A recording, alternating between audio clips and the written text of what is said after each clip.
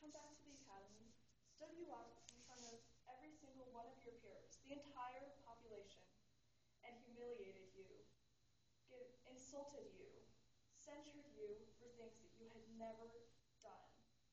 Today I'm going to talk to you a little bit about Jane Eyre, and I'm just going to go throughout her life and talk about the lessons that she learned along her way and the way that perhaps we could apply them to our own lives. Now, as a child, Jane Eyre was really basically used and abused by her family. They, um, she was abandoned by her parents because uh, one of them died and one of them went to prison. I don't remember the whole story, but um, when she ended up living with her aunt, who didn't want anything to do with her but was only doing it because her uncle had made her, she was not exactly at the top of the family. They basically used her to do whatever she wanted. She was a bit like Cinderella. Her siblings were constantly beating up on her and insulting her and making her feel like she didn't matter.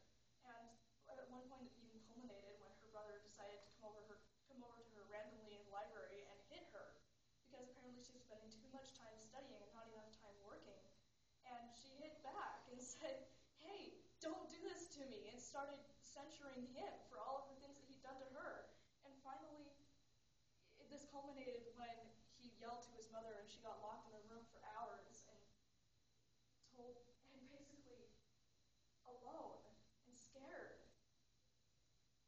But finally, when the opportunity came for her to leave and go to school, there was a crucial moment in the book where she stood up to her guardian and said, You were the one that was wrong, not me. You were at fault. You hurt me, and I will remember for the rest of my life what you have done to me. She was not scared of the woman who had made her feel like she was morally wrong in every respect for the, her entire life. And she was only 10 years old. I think that this can apply to us too. We have to have the resolution to not take our self identity, our idea of what's right and wrong, simply from other people who would influence us and who would use us. Now, second, what she learned at her school was really quite significant because she learned to let go of her past grief. She was talking to her friend who would later die and um, saying, you know, oh my gosh, I'm beaten down with all of the terrible things that my family did to me, and I'm never going to forget them, and I'm filled with anger, and I'm filled with grief, and I'm filled with sorrow. But her friend just looked at her and said, Life's too short filled with all of that, to be lived wondering if we'll ever be able to forgive the people that hurt us. And so later, she did forgive her mother, and she was able to live a very much freer and more peaceful existence because of this. I think that this can apply to us. Because a lot of us have been, unfortunately, used and abused by people in our lives. Most of us do face the injustice that people put upon us, but if we spend too much time dwelling on it, miss opportunities. There's a great quote by uh, Shakespeare Cowards die many times before their deaths, but the valiant taste of death but once. So if we're too cowardly to face up to things that have happened and to forgive the people that have hurt us, then we're really just subjecting ourselves. But Jane Eyre moved on and she got a good education. And yet at the same time she was very humble in that she wouldn't, you know, move up beyond her status as a woman and as a dependent on other people.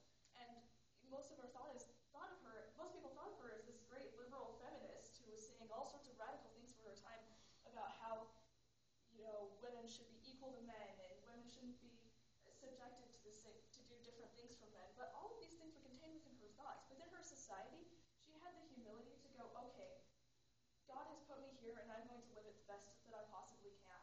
And yes, I do have lower status. Yes, I do have a lesser education. And so I'm not going to try to be more than I'm supposed to. And she was the ultimate woman. She was a fantastic wife, and she taught others so much that she never even really knew. So, in conclusion, I think that there are ways that we can be like Jane Eyre. For one, I would recommend reading the book because you can learn quite a bit from it. And for another, don't take your idea of what's right and wrong from other people. Take it from yourself. Reach into your own soul decide what matters in the world. What is the right thing to do in a given situation? Second, it is good to be able to let go of the past wrongs that people have done to you. It is good to be able to forgive and to move on. Because, you know what? If you're just always let letting the grief and the anger overcome you, then the, the abuser has won. But if not, if you move on and live a better life, a higher existence, then you are the one who has won. And this is what Jane Eyre did. This is her legacy. And this is frankly the legacy of Charlotte Bronte.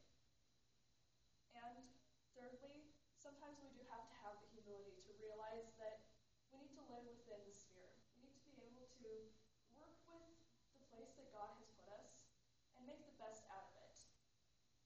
So I recommend reading the book, moving on from past hurts, and reaching into your own self to